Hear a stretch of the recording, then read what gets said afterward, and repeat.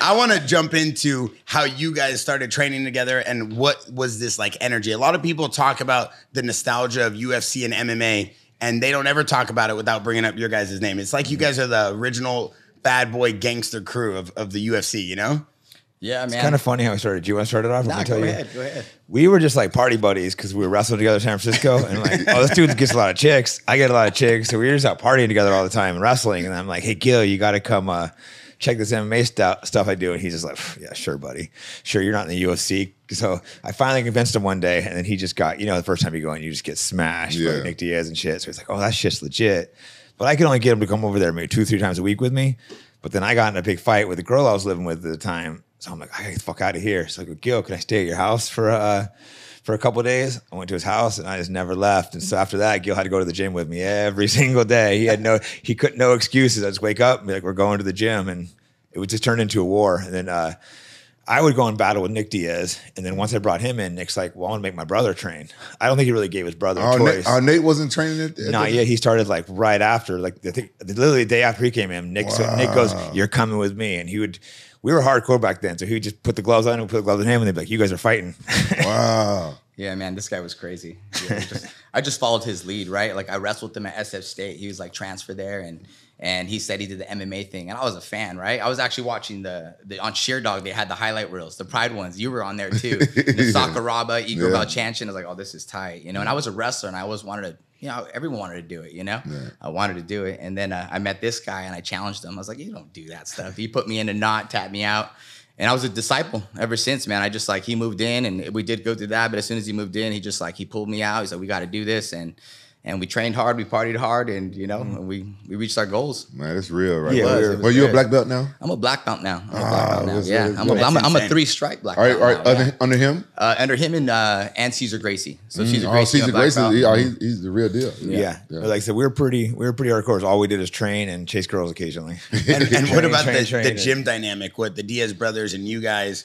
Like, did was there one central head coach? Because I know you guys were in separate gyms at Mm-hmm. some point, right? Because you have Modesto, Stockton, and then you had you know San Fran. Great question. So I ran, I ran the San Francisco part, right? So I, so I got I was teaching there, so I was the head guy there. Nick ran the ran the Stockton Lodi part, and then Cesar ran in the middle.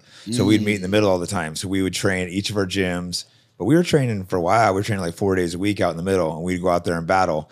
And we had were super good friends, but we're also super competitiveness. I think that competitiveness drives you together. Even me and Gil, we're best friends, but we'll get in fights sometimes in the gym. I think I No fight way. Gil more than anyone else. I don't know why. He he always hits me too hard, then blames me. Yeah, yeah, that's like one of the problems at gyms, right? Guys can't take that, you know. But afterwards, we're like hugging. And, Oh, we're Yeah. instant, we're instantly Yeah, friends yeah, after, we're but Yeah. like, have some Yeah. food, smoke, whatever. It's Yeah, you leave it. In, you leave it in the Yeah, cage. like, leave it in the ring. it would never be On that, personal, yeah. but like, it's not that uncommon for me to gym. Me and Gil start fighting. What's, what's going on? Everyone like freaks out. It's like, no, it's no, we're already over it. And at what point did the Diaz brothers and you guys all officially become like this team with one central head coach? Because at one point you guys all had the same striking coach, right?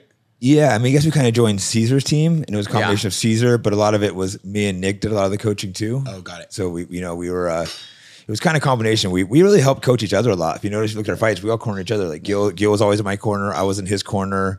Nick, Nate, we always took turns cornering each other. And so instead of having to hire trainers, we just helped train each other for free. Yeah, so it, worked was out, pretty uh, immediately. We are with Cesar, right? He was already at Cesar's training over there, and he'd bring me over there. We were just doing our thing in San Francisco, and he was under Cesar's banner out there, and we'd all meet up. And it'd get down.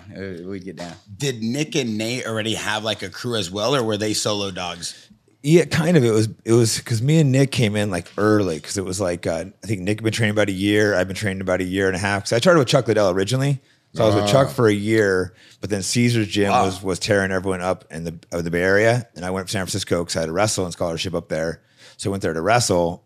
But at that point, it's hard to go back to wrestling once you're fighting. So I already had, I already had a couple fights under Chuck, so I had no desire to wrestle. So we wrestled a couple months, and we both dropped off and just uh, pursued fighting. How was Chuck back in those days? Was he a party animal and stuff already? Man, Chuck is no, he actually wasn't. Actually, now that you mention it, he turned into it after. He didn't really no drinking, no What? or very little drinking. It wasn't that he was very like Chuck like Liddell? yeah, he was like he would drink a little bit, but but not much. I remember he didn't party that much. I remember ran into him one day and he was partying. I'm like, oh, Chuck's partying now. Man, Chuck, Chuck reminds me like Spud MacKenzie of MMA, bro. he's a, he's so fun when you hang out with yeah, him, bro. he can- yeah. Sometimes I get scared when Chuck's in town though because he won't let me leave. And just Chuck's like, come meet me. I'm like, oh shit, do I want to meet Chuck? Can you let me leave once I meet him? Yeah, I remember those days that we'd go uh, down to what's it, slow. Slow, yes, Yeah, yes, we Slow. go there. He let us sleep on the couch, hang No, out Chuck- when he was up. San Luis Obispo? Yes, we go out there. Chuck is such a great dude. First guy I knew that ever got famous. So it's good seeing someone get famous and not change at all. So mm-hmm. that, that was awesome to see. And like I said, I'd bring him down before you were known at all. And Exactly. It was great, right? Just being young, being around greatness, and allowing us to just stay on the couch, wake up, go to the training session, be around it. Just it inspires you, right, man? Yeah. So Yeah, when you have the top fighters letting you sleep on your couch, it's like, oh, this dude's cool as fuck.